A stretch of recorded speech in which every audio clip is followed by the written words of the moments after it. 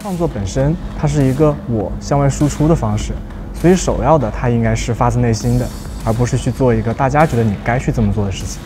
将世界万物丢到数字的世界里面，然后想方设法让它动得漂亮、富有设计感。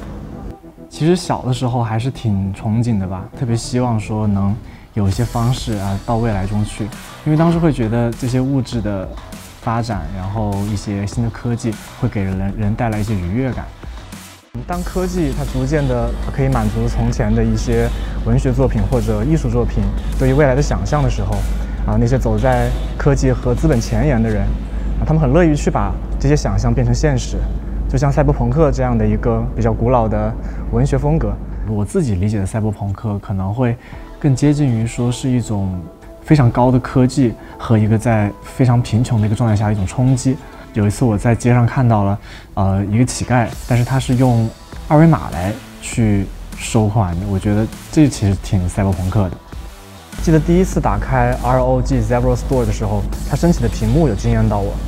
因为这种联动机构呢，往往都是出现在一些玩具里面，没想到可以设计设计进这个笔记本里，还挺有未来感的。啊，我所使用的软件呢，往往都是拥有比较复杂的视窗系统，比如说 Viewport，比如说呃实时渲染的 IPR，或者是啊材质的节点管理器。所以说我们在工作的时候都需要两个屏幕，而现在配备了双屏的笔记本，就可以解决这样的一个痛点。在去做满载运算的时候，基本可以保持系统的稳定性。很喜欢在笔记本上玩一些设计精致的独立游戏，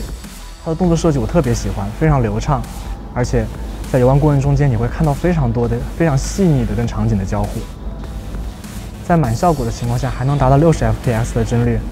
这种动态的流畅性非常的解压。